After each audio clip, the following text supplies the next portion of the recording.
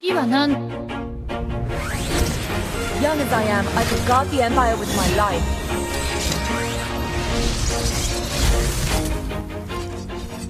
What's up guys? Isa na namang Mobile Legends tutorial at dito ipapakita ko sa inyo paano gamitin ang energy ni Fanny. Simulan na natin.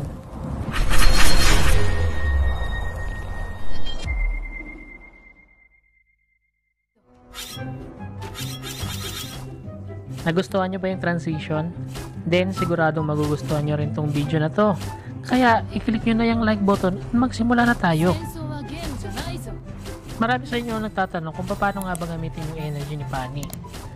So sa video nito ipapakita ko sa inyo kung paano ko siya ginagamit at makikita nyo most effective way para gamitin si Pani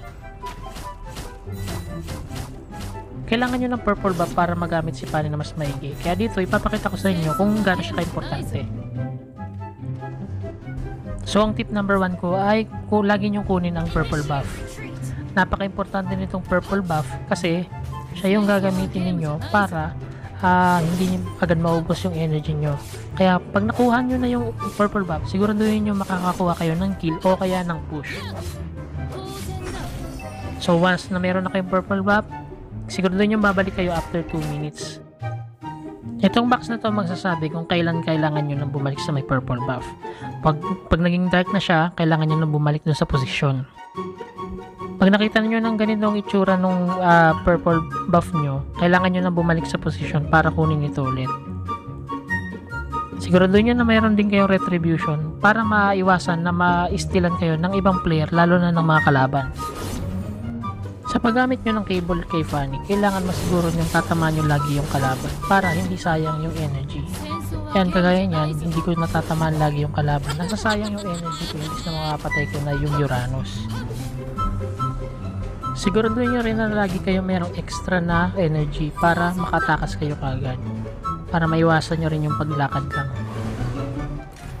Dapat, every time na mauubusan kayo ng energy, or pati ng HP, kailangan babalik kayo sa base lagi. So, unlike sa ibang hero, ah, si Fanny yung pinakamadalas bumalik sa base na hero para mag-regen ng energy. So, tingnan na natin itong clash na mangyayari.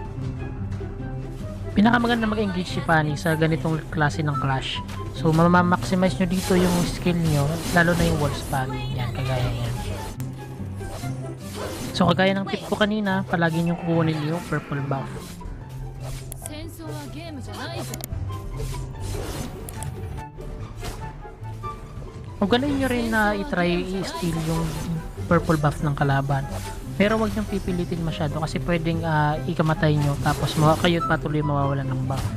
Pag mga ganitong sitwasyon, pag hindi nyo talaga natatamaan yung kalaban, lalo na pag marami sila, eh umiwas na lang kayo at mag-back na.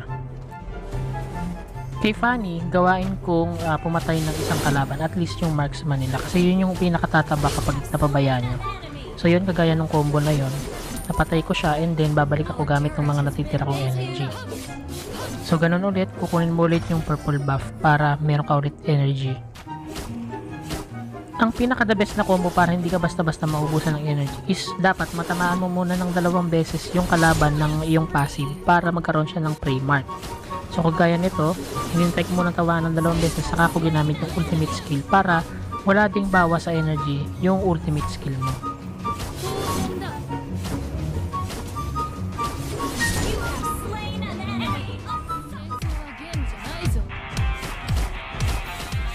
Yun! Commercial muna tayo. Nagpapasalamat nga pala ako sa lahat ng sumusuporta sa aking channel Tulungan nyo ako mahit lang 10,000 subscribers by sharing this video. So malaking tulong po yun para lumugo pa tayo. At big shoutout sa inyo, Justy Ray Justin, big shoutout sa iyo. Albert King Solana, shoutout din sa iyo brother. Kan Siabok, shoutout din sa iyo. Kay Carlos Balisa, shoutout sa iyo Carlos Balisa. Shoutout din sa iyo Mark Luigi Habal. Shoutout din sa iyo Ryan Kalisagan. Shoutout din kay Jamail Brasar na ang dami mag-comment, Barasar. Shoutout din sa iyo Pau Uy. At shoutout sa inyo lahat ng aking mga brother. Salamat sa inyong suporta. So, ayun, nag-aantay rin kayo sigurado ng aking Steam giveaway. Sa ngayon, meron tayong Steam giveaway sa aking previous na tutorial.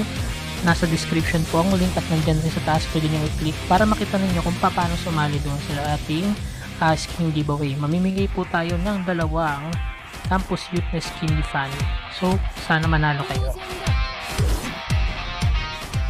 Alam kong bigyan ka pa sa mga tips na sinabi ko kanina, kaya ito, tuloy na natin. Napaka-importante na yung energy ninyo ay dapat ginagamit nyo para makakuha ng kill. Ako personally, yung ginagawa ko is naghahunt lang ako ng paisa-isang mga kalaban. Dahil dito, mas nasisave ko yung energy ko, hindi ko nakukonsume sa mga unnecessary na cable, at nakakakuha na rin ako ng kill. Huwag nyo rin pipilitin na pasukin yung clash kung ganito ka konting energy nyo. So, ang gawin nyo na lang, magback kayo at saka mag-recall or if malapit nang maubos yung inyong blue buff, kagaya nitong nasa screen ko ngayon, eh mag-farm muna kayo and then position na kayo para kunin yung buff. Para malaman nyo kung pwede nang kunin, tingnan nyo lang sa baba or tingnan nyo sa mapa kung merong gray na dot. So pagkakawa ninyo ng purple buff, balik na kayo sa objectives nyo. It's either kumuha kayo ng kill or mag-split push kayo. So yun yung role ni Fanny. Again, kailangan yung tipirin yung energy nyo as much as possible. So mga simpleng 2 cables lang ang gagamitin ko para makakuha ng kill. Kagaya nun. Yung combo na ginagawa ko is uh, tinatamaan ko muna yung kalaban ng passive and then ultimate and then per skill. So, yun yung pinaka-effective na way para sa akin pero may energy consumption yung ginagawa ko. So, para hindi masayang yung energy nyo, ang gagawin yung technique, siguraduhin yung dalawang beses yung tatamaan ng table yung kalaban ninyo para pag ginamit yung ultimate skill nyo, yun, magre-regen siya. Huwag na huwag mong gagamit yung ulti nyo kagaya nito at ito mangyayari sa inyo.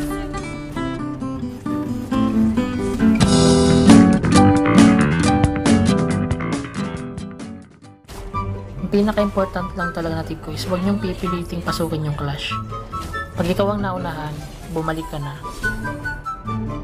So, yun na nga yung mga tip ko sa episode na ito ng paano gamitin ng energy ni Pani. So, kung gusto niyo ng, ng second episode nito, ah, i-comment nyo lang sa baba. Tapos, pwede rin kayo magpa-shoutout. Para sa next video is ma-shoutout ko kayo, okay? So, simulan na natin ang ating montage.